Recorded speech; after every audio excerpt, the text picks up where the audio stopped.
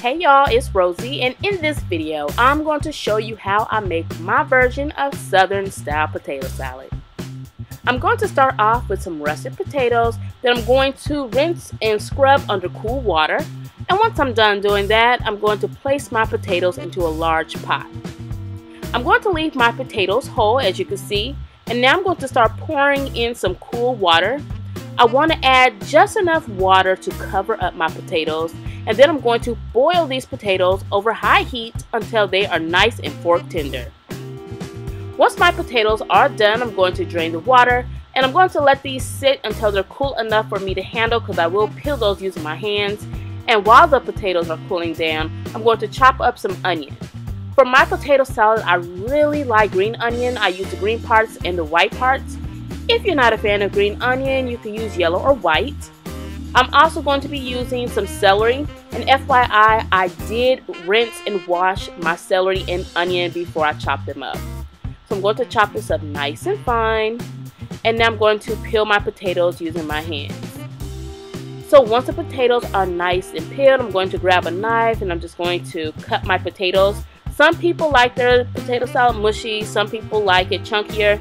If you like it mushy, mush your potatoes up. If you like it chunky, you can leave it just like I have mine.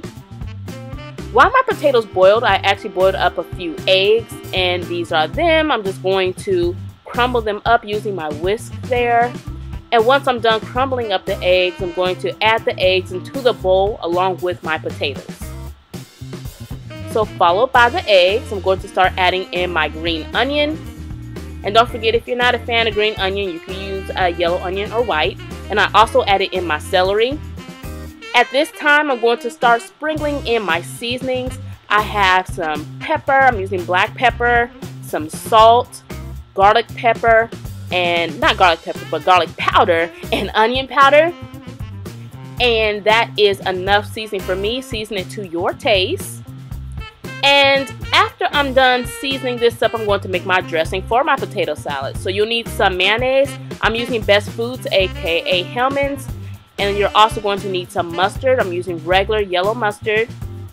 Followed by the mustard, I'm going to add in some dill relish. And I will also be using sweet relish as well. If you want to just use one of the two, you certainly can do so. Just double it.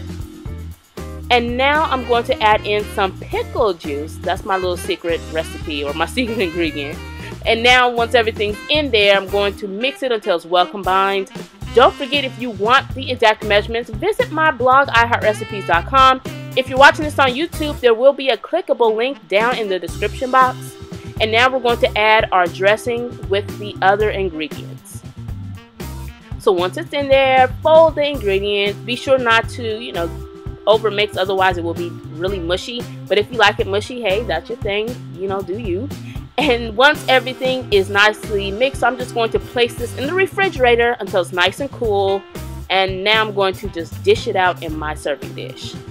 And that's really it. Really delicious. Simple to make. Really easy. Again, the recipe can be found on my blog, iHeartRecipes.com. And to finish this off, I'm just going to add some color by sprinkling on some paprika. If you're on Instagram, be sure to follow me and don't forget to subscribe to my channel.